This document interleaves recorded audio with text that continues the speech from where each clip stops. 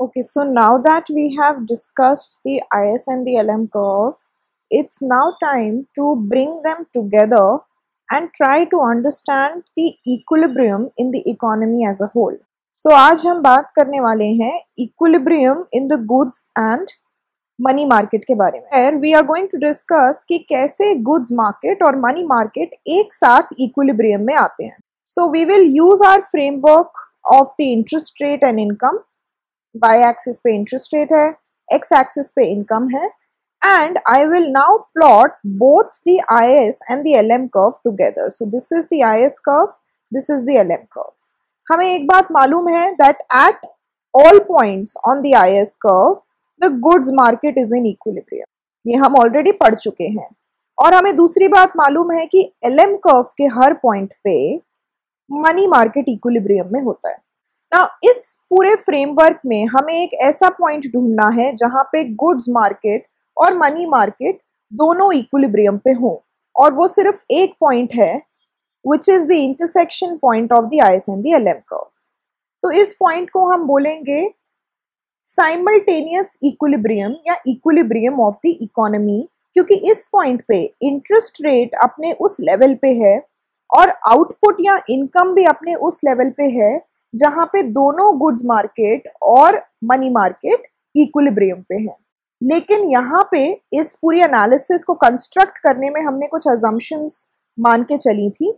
और वो है कि प्राइसेस आर फिक्स्ड हमने ये माना था that prices are not changing prices are fixed. दूसरी चीज़ हमने बोली थी that money supply fix and there is no change in the physical policy मतलब किसी भी तरीके का एक्सपेंडिचर या tax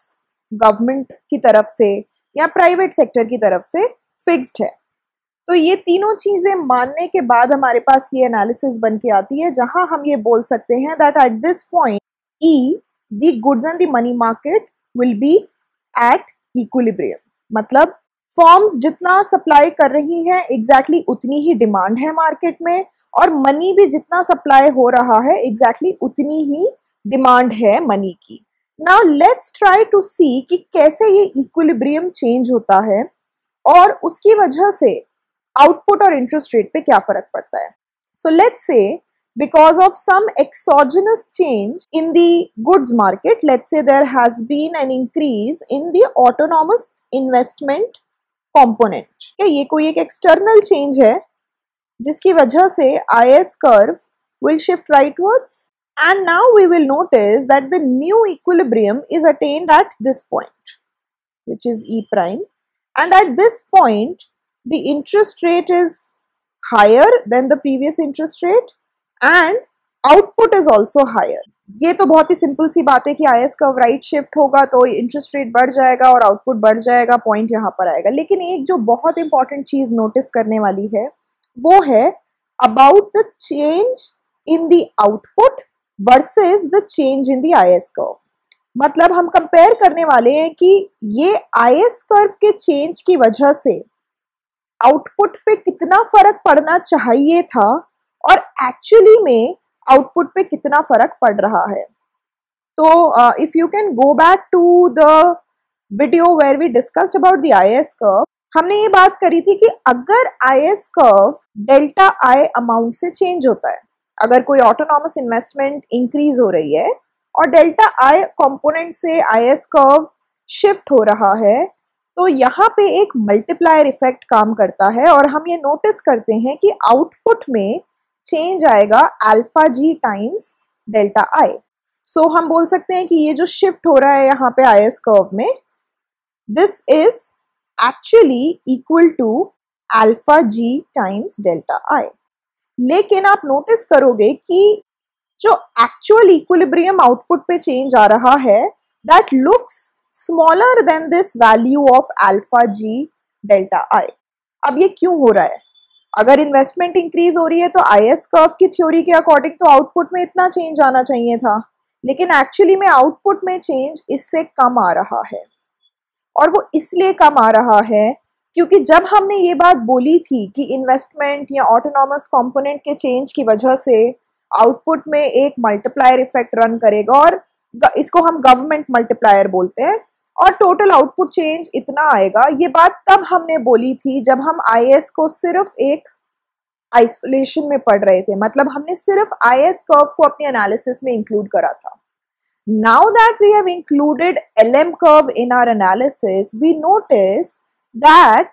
with the increase in income तो जब इन्वेस्टमेंट इंक्रीज हुई there is an increase in income जो कि डेफिनेटली इस अमाउंट से हुई, जो आई एस कर्व प्रिडिक्ट करता है। लेकिन इस इंक्रीज इन इनकम ने एक मनी मार्केट में इफ़ेक्ट क्रिएट करा which is increasing the money demand हमें पता है कि मनी डिमांड इनकम पे पॉजिटिवली डिपेंडेंट होता है तो अगर इनकम इंक्रीज होगी तो मनी डिमांड इंक्रीज हो जाएगी। अब इस इंक्रीज इन मनी डिमांड की वजह से ऑब्वियसली मनी मार्केट में डिसिक्विलिब्रियम क्रिएट हो जाएगा। There will be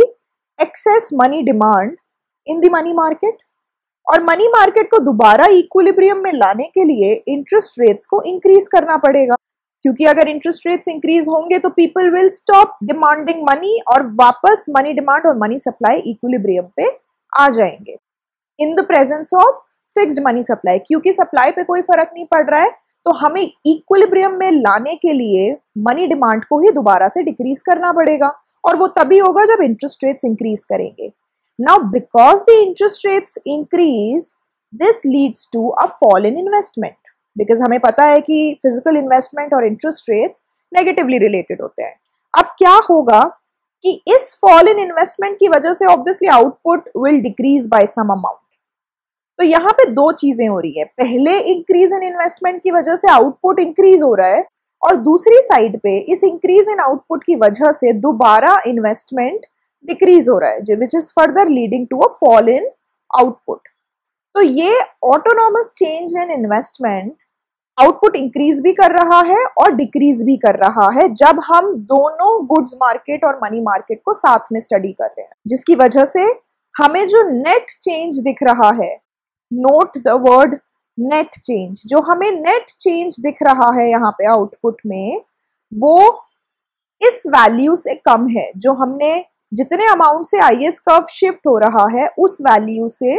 come net change हम यहाँ पे आउटपुट में देख रहे हैं। And this is the reason why output is increasing by a lesser amount as compared to the I S curve